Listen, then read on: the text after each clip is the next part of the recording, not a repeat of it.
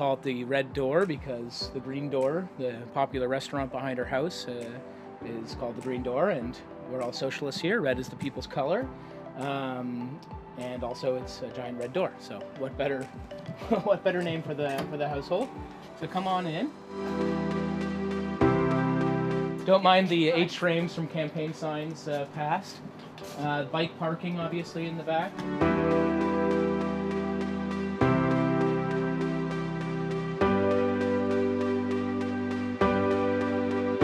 Name is Miles Crowder. I live with uh, several roommates. Um, all of whom I've met through political activism of one sort or another.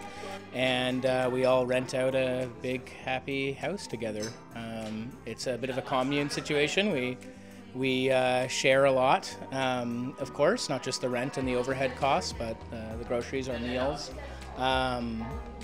Yeah, it's it's nice. I think people just aren't at a place in their lives um, that um, previous generations would be at, at, at, at, certainly at my age. I'm 31. Um, I'm recent uh, recently walked away from my PhD. I have a ton of student debt I'm, I'm dealing with. Um, the, just my student debt collection every month is like a rent on top of my actual rent living here. And a lot of us are political activists too, so that's a certain lifestyle in itself. It's been two years straight of campaigning for most of the people in this house. So, yeah. What do you get out of it?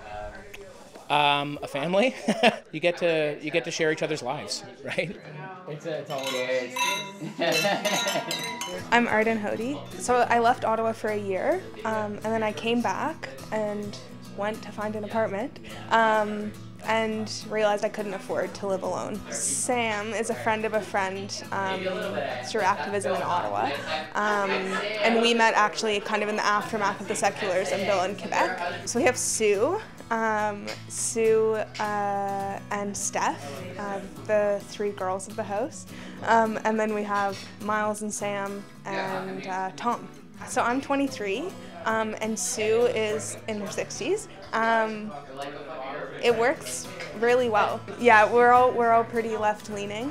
Um, Miles would call us, I think, a, a communist, um, socialist commune. I think would be his phrasing. Um, I would say I have opinions. Um, I'm not as vocal maybe as, as some of the other roommates, but but everyone's really understanding um, and also come from a lot of different educational backgrounds. I think uh, we would encourage you to bring up politics at the dinner table. Um, if we didn't, we'd probably have nothing to talk about. you want to go upstairs? Why not?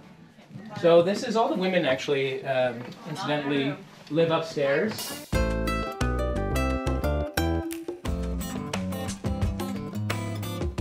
My name is Susan Clapham, and I live here with this group in um, Ottawa.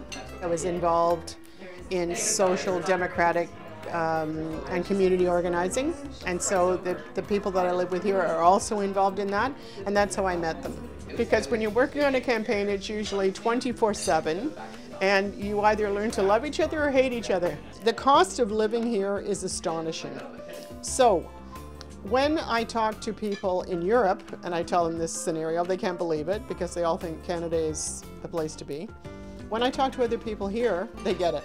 They understand. They understand it makes more sense to share costs with everyone. I can't really imagine living in a different situation.